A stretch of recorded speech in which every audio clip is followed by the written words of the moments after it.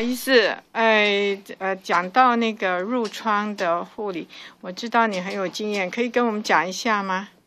呃，应该是说我刚好有一个经验分享啊，就是说有一次我在做一个客人的时候，他是小麻痹，那长期就坐在椅子上，哦，那没有坐在椅子上，就是在床上，就是躺着，他没办法行动。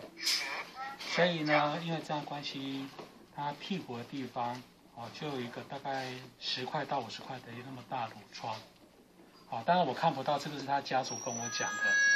那他们那时候我要帮他做按摩的时候，家属跟我讲说，那个地方乳疮不要做，因为会刺激。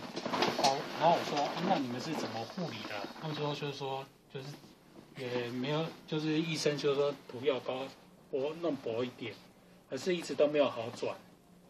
那时候我就想起以前的一些其他经验，我就跟他们分享，就是说，你应该去拿一些比较粉状的，因为有一位中医师跟我讲啊，一般干的伤口哦，你可以涂一些药膏，哦，然后比较有水分的要要弄药粉。那我说为什么？他说药膏的话它是油性的，会有层膜，那个膜刺上。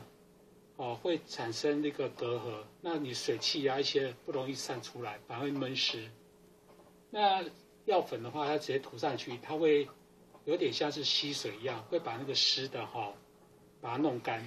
所以基本上湿的用药粉的话，效果一般啦，没有说绝对，但是一般而言，它的效果会比用药膏的好得多。哦，因为药膏它就是。会把它那个有点像保湿一样，所以它湿气都跑跑不掉。好，好，这是那个医生，那我就这样子跟他们提议。所以呢，他们去用的买的药粉，那药粉基本上可以来源有几个，就我知道的，一个是西药的，他们有一种叫抗生素药粉，它是药囊装的。